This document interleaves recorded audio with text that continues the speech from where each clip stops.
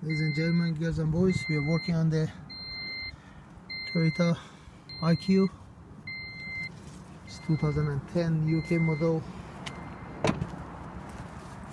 We are changing the offside front anti-roll bar link.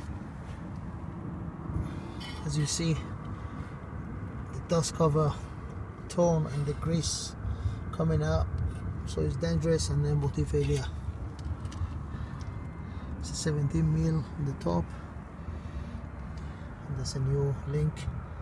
It's a star line link. What we do while this under pressure we remove these two nuts one top one bottom. And then we tap it back. We just tap here to fall off. So we jack it up from the underneath of the car chassis axle stand. And we must make sure follow the health and safety. It's quite nice cars little cars. So thanks for watching. I'm gonna just start removing this part. You bye